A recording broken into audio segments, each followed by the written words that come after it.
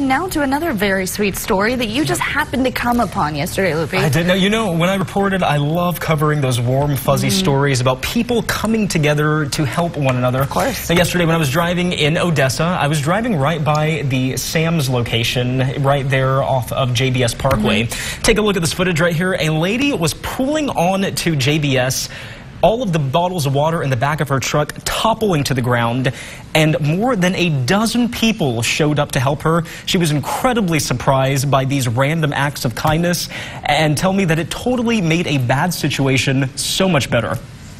just that's crazy. I mean, I look back and I'm carrying a case, and the next thing you know, all these people are piling out of their vehicles to come help me out. What would your message be to those 12 plus people that stopped? I hope you get yours back in return. You know, I mean, I hope that one day when you need help, that somebody's there for you. You know, I always try and help others, and that's like one of my big things is doing to others as you would want done to you.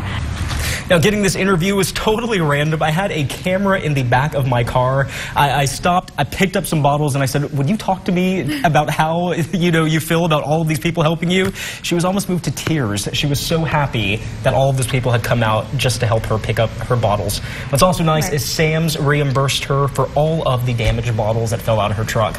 Pretty awesome. Yeah, she was just really trying nice. to do her job, and then, you know, everybody came out to help. I love stories like that. That, that Thank was you, a great, Loopy. great catch, Loopy. That Thank was you. excellent. It was yeah. one of those moments where I'm like, I have a camera in the back of my car. This is real reporting. Yeah, uh, there you go. There you go. well, um, and it was a nice day to be outside, actually. Yeah, it was actually nice yesterday. It's going to be hot and windy today. Here's